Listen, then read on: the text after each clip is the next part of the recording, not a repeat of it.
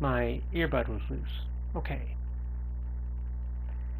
This is a little bit of an addendum video to the very first episode of Japanese Rail Sim because I have forgotten to show off the early trophies that I got while practicing my recordings for this video, for these videos, and here they are.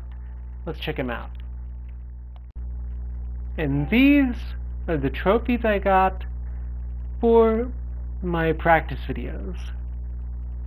As you can bet, they're pretty cool. Now stay tuned for episode 2 where I do the inbound line.